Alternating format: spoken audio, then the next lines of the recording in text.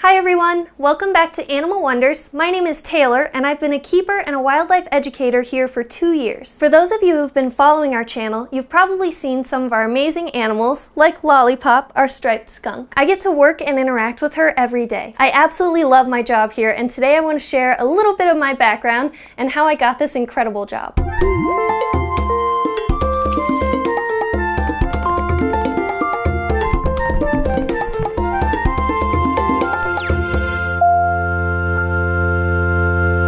Many of our viewers are interested in a career with animals, and when I was trying to find my way, I found it really helpful to see how others did it. So here's my story. I grew up in the suburbs outside of Cincinnati and for as long as I can remember, I've loved animals. I used to watch Animal Planet any chance I got, and I loved learning about all the really cool animals all over the world. Most of all, I wanted to be able to meet and interact with all those animals that I saw on TV. However, growing up near a big city meant there weren't a lot of wild animals that I could see. Sure, there were the occasional squirrels or rabbits or deer, and the occasional raccoon or possum getting into our trash cans. But I wanted to see the animals that I saw on Animal Planet. I wanted to see lions and eagles and Galapagos tortoises and starfish and so much more. So one of my favorite places to go when I was a kid was the Cincinnati Zoo. There, I could see and interact with the animals that I had seen on TV. The zoo was a place where I truly began to appreciate exotic animals. As I grew older, my love of animals only increased, and by the time I got into high school, I knew I wanted a career working with animals. The only problem was I didn't know exactly what I wanted to do or where to start. So before I started my senior year in high school, I volunteered at the Cincinnati Zoo. I spent most of my time in the children's zoo, cleaning up after the goats and talking with the kids. But there was one day where I got to talk with guests outside the new cougar exhibit. After most of the guests had left, I got to talk with the keeper. She had worked with dolphins down in Florida elephants in Thailand, and now she was hand raising cougar cubs. That one conversation was a major turning point for me. I realized I didn't want to work with dogs and cats. I wanted to work with wild animals. I wanted that life. After that, I started looking at colleges that had wildlife biology or zoology programs. I took one look through the University of Montana's website and I was sold.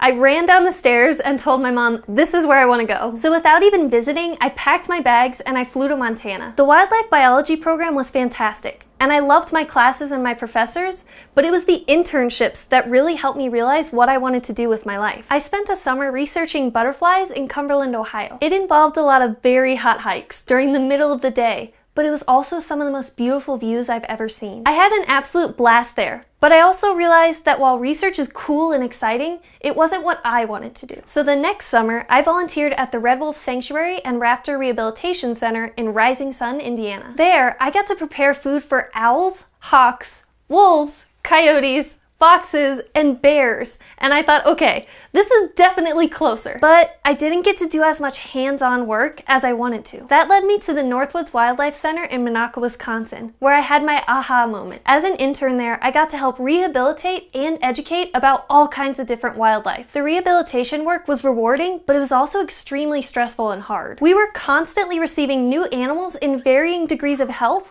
while also trying to help the hundreds of animals we already had. While caring for the animals was exciting, I quickly realized my favorite part of the internship was education. I got to lead tours, present ecology programs, and teach about native wildlife. The best was when I shared a fact with kids or adults and I got them to look at the animal again with amazement, laughter, or despair and I saw them form a connection. That's when I knew I wanted to bring people and animals together. I believe these connections are necessary for people to appreciate the natural world. After I graduated from college, I was enjoying an internship at the Missoula Insectarium, trying to find the right place for me when I heard about Animal Wonders. After meeting and talking with Jessi, I knew Animal Wonders was where I wanted to work. Here I get to work with some amazing animals like Maui, our green cheek conure. I also get to share my passion for animals with others by giving public presentations our local community. Sometimes after I tell people my degrees, they ask what my dream job would be, and my answer is I'm already living it. Whether you want to be a zookeeper, rehabilitator, veterinarian, or a wildlife educator,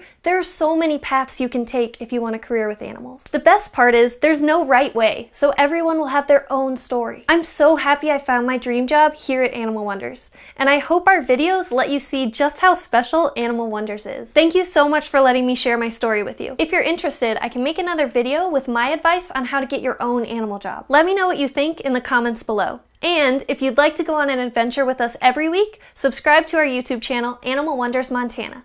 Thanks, and we'll see you next time.